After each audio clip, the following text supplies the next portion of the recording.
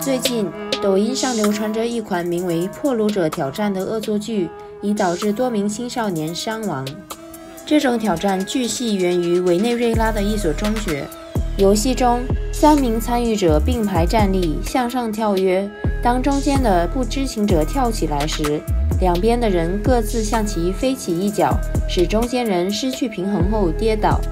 当这段影片开始流传后，不仅风行南美校园。更传到美国、英国、西班牙等地，一些大胆的青少年纷纷模仿这种危险的恶作剧。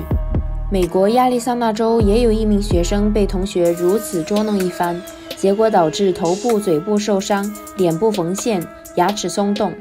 他的母亲在脸书上分享了这个惨痛的教训，并呼吁周围大人一定要警惕。俄亥俄州立大学韦克斯纳医学中心的医师内森·查理兹博士在雅虎生活方式中受访说道：“这种挑战可能是致命的，会对头部和颈部造成重创。各种伤害包括但不限于颅骨骨折、颈部拉伤、颈部骨折、脑震荡、瘫痪和死亡。”近年来，视频软件的兴起让许多新奇的挑战在年轻人之间迅速流行。有的无伤大雅，甚至具有公益性，但有的挑战却非常危险。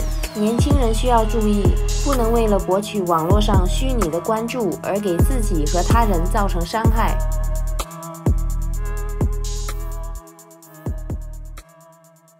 欢迎您订阅和分享我们的频道，不要忘了点击小铃铛，及时收到我们新视频的通知哦。